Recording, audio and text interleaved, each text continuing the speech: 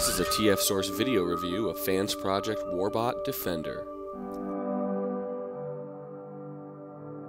TFSource.com tends to focus on a lot of Transformers related figures that you cannot find in the US stores, and as such, many of the recently available third party toys have been made available on TFSource.com.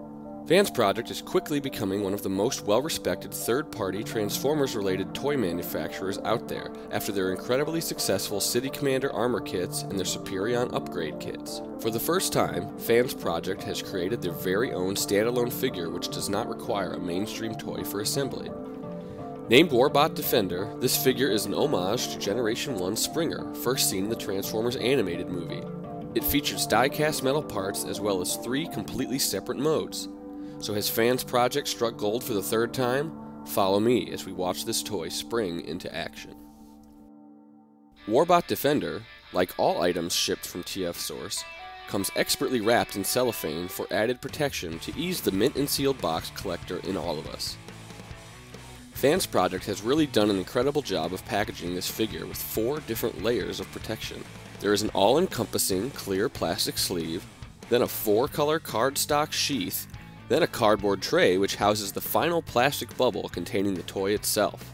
Included in the tray is the full color comic book with instructions, the sword, both handguns, and an attachment for aerial display stands. The comic book tells the story of Warbot Defender's evil clone attacking his base, which could mean that we may see an evil version of this figure in our future. Only time will tell if we end up seeing a WB002 or more.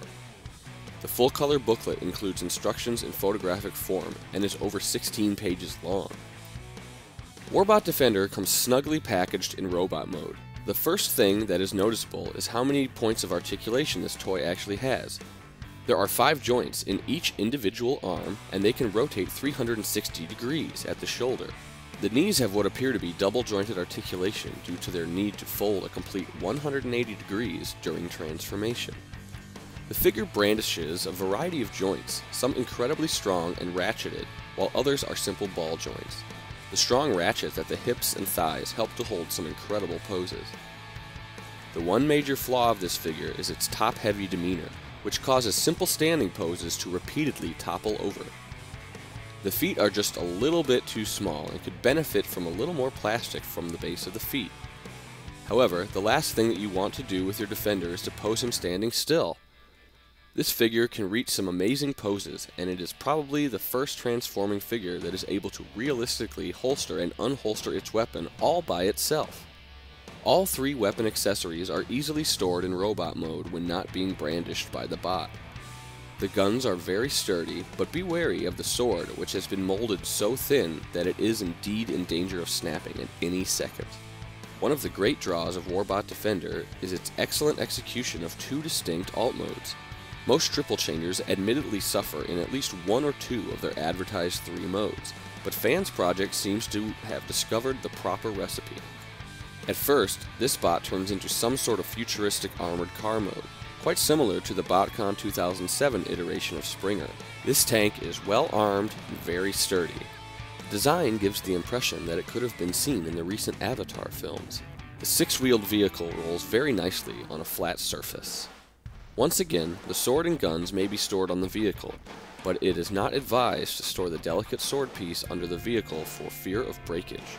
The bright yellow hood and the bright blue windshield help to remind us all that Springer is back. After reaching armored car mode, the helicopter mode comes next. This transformation is far more complex than one might assume from looking at the still photos.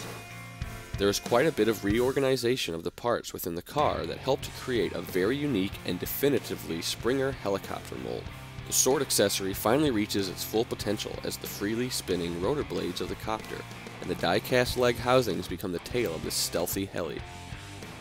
The handguns fit into nicely angled peg holes that have been until now hidden from sight, the display stand adapter may be connected to the underside of the helicopter and attached to a separately available display stand for maximum display value. If anything shouts classic Springer, it is this beautifully executed helicopter mold. Warbot Defender is meant to fill the gap for a classic style Springer triple changer mold. He is somewhere between a typical deluxe and Voyager class figure. When seen next to other Season 3 characters from Classics or Generation 1, he seems to defy genre styles and fits in with either.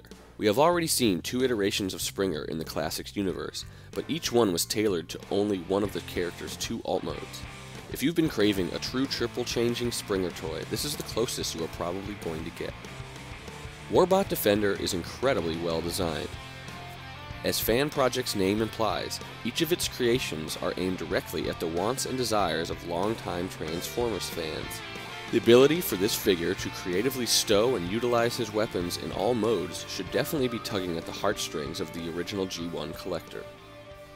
Although Warbot Defender has a bit of difficulty staying standing, most will find either of the alt modes to be the most successful display options for this piece. This is something that we expect Fansproject to address in any future creations. With the announced Bruticus upgrade kit, Fansproject will continue to lead the way in third party boutique Transformer items. If you can afford to spend BotCon exclusive prices on a boutique third party item, you will not be disappointed. Only time will tell if we will be able to see a Protector upgrade kit in our future, or if paying over $50 for that Classics Rodimus was just simply a waste of time.